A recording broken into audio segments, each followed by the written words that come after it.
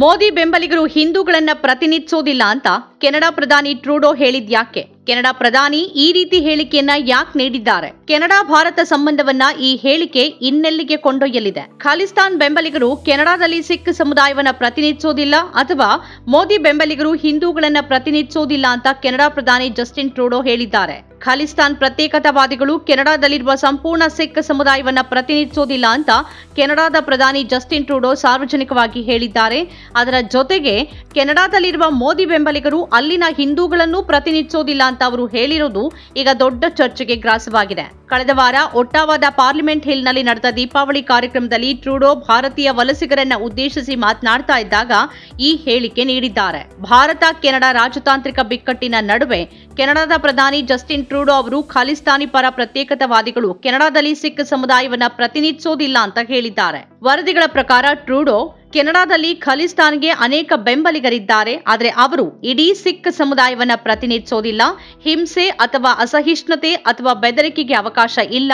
ನಾವು ಹಿಂಸೆಗೆ ಅವಕಾಶ ನೀಡೋದಿಲ್ಲ ಅಂತ ಹೇಳಿದ್ದಾರೆ. ಟೈಮ್ಸ್ ಆಫ್ ಇಂಡಿಯಾದ ವರದಿ ಪ್ರಕಾರ ಟ್ರೂಡೋ ನವೆಂಬರ್ ನಾಲ್ಕರಂದು ಈ ಹೇಳಿಕೆ ನೀಡಿದ್ದಾರೆ. ಖಾಲಿಸ್ತಾನ್ ಪರ ಅಂಶಗಳು ಮತ್ತು ಬ್ರಾಂಪ್ಟಮ್ನ ಹಿಂದೂ ಸಭಾ ಮಂದಿರದಲ್ಲಿ ಕಾನ್ಸುಲರ್ ಶಿಬಿರದಲ್ಲಿದ್ದವರ ನಡುವಿನ ಘರ್ಷಣೆಯ ಒಂದು ದಿನದ ನಂತರ ಟ್ರೂಡೋ ಅವರ ಈ ಹೇಳಿಕೆ ಬಂದಿದೆ. ಕೆನಡಾದಲ್ಲಿರುವ ಮೋದಿ ಬೆಂಬಲಿಗರು ಅಲ್ಲಿನ ಹಿಂದೂಗಳನ್ನು ಪ್ರತಿನಿಧಿಸೋದಿಲ್ಲ ಅಂತ ಅವರು ಹೇಳಿರುವುದು ಈಗ ಚರ್ಚೆಗೆ ಗ್ರಾಸವಾಗಿದೆ. ಇದರ ಬೆನ್ನಲ್ಲೇ ನವೆಂಬರ್ ಆರರಂದು ಟ್ರೂಡೋ ಹೌಸ್ ಆಫ್ ಕಾಮನ್ಸ್ನಲ್ಲಿ ಹಿಂಸಾಚಾರವನ್ನ ಪ್ರಚೋದನೆ ಮಾಡೋರು.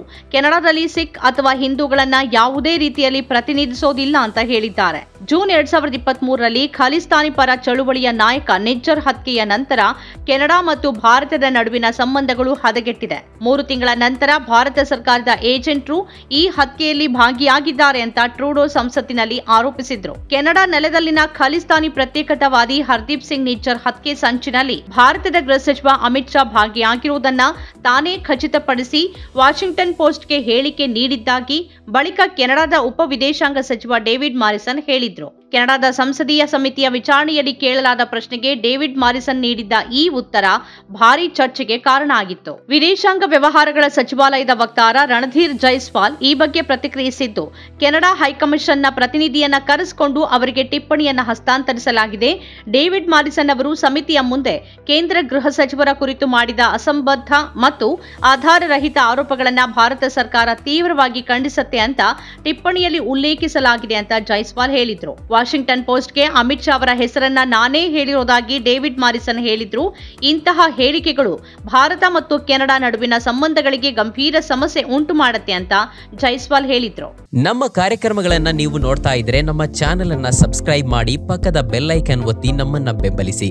ಹಾಗೆ ನಮ್ಮ ಕಾರ್ಯಕ್ರಮಗಳನ್ನ ಲೈಕ್ ಮಾಡಿ ಕಮೆಂಟ್ ಮಾಡಿ, ಅದನ್ನ ಬೇರೆಯವರಿಗೂ ವಾಟ್ಸಾಪ್ ಮೂಲಕ ಶೇರ್ ಮಾಡಿ. ನೀವು ಹೀಗೆ ಮಾಡಿದಾಗ ನಮ್ಮ ಚಾನೆಲ್ ಇನ್ನಷ್ಟು ಮತ್ತಷ್ಟು ಜನರಿಗೆ ತಲುಪಲು ನೀವು ನಮ್ಮೊಂದಿಗೆ ಸಹಕರಿಸಿದ ಹಾಗಾಗುತ್ತೆ. ಇದು ನೀವು ಯಾವುದೇ ಖರ್ಚಿಲ್ಲದೆ ಕೆಲವೇ ಸೆಕೆಂಡುಗಳಲ್ಲಿ ನೀಡಬಹುದಾದ ಸಹಕಾರ.